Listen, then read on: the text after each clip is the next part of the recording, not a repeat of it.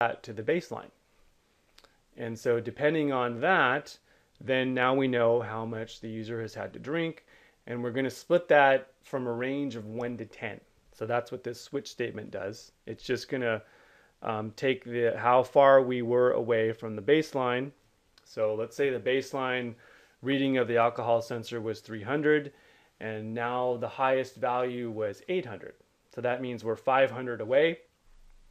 We're going to split that up from a range of 1 to 10. So 0 means no drinks, 1 is, is also no drinks, 2 is few drinks, and then just moving on. You get the idea, the idea here. Um, the uh, 8 and 9 are drunk. And so as we go into each of these, let's just pick one. Then we're going to clear the LCD screen. We're going to tell the user, depending on which character, um, what range they're in. So here we'd say, okay, you're in range 8. And then we're going to play the audio file that corresponds to drunk for that character that was selected earlier. Hence the case 0, 1, 2, and 3, right? So this is depending on which character. So that is that.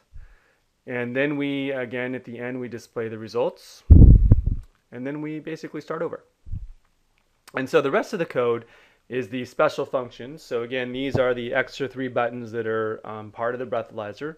And those are to do whatever you want.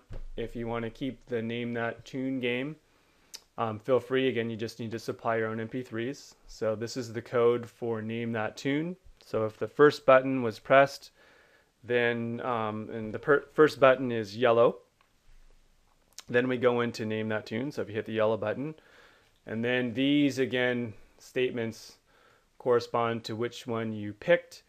And it's actually going to pick these based on a random number generator. So you don't pick the same songs in the same order every time. So it'll just play the file and then it'll wait a bit and then it'll show on the screen the name of the song. And then if you remember the progmem variables that we talked about before, these are the numbers. So if you scroll all the way up to the top, let's just go here real quick. Okay, so all the way up here, these are all the variables. So uh, I forgot which one we're looking at, but let's say we're looking at 138. Then you can go up here and you know 138 corresponds to this one. So that's what all that means. Let's go back down. Okay, so that was the, the name that tune. And if I keep going, the next one is name that movie. Pretty much exactly the same thing. Again, you supply the MP3 files. And then lastly, for the third button, which is the blue button, the name that movie was the green button. This is the last button, the blue button. That just plays uh, in the sample code uh, just a beer drinking song. And again, this you can do whatever you want. So that's uh, that's it for the code walkthrough when you're done um, with your code, just like any other Arduino program, you want to compile it. And uh, if you didn't have any errors, then it's going to successfully compile here just in a few seconds. Okay, so we compiled it, and then actually let me now plug in my Arduino to my USB port, and then we can download it. Okay, so I just plugged the uh, breathalyzer into the USB port. So now if I go over here, I, I see my port, I'm on COM7.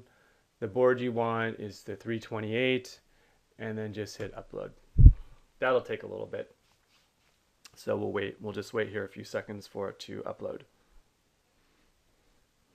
Okay, so while it's uploading here, you can see we're actually using up almost all of the um, the flash memory. So we get a max of 32K and you can see we're pretty close to the limit. And again, that's mainly because of the name that tune game. If you're not using that, you could delete those to save some space if you wanted to add some other stuff, for example. Okay, so it says done uploading. We're good to go. You got the new program uh, uploaded to your Talking Breathalyzer, and, and that's pretty much all there is to it.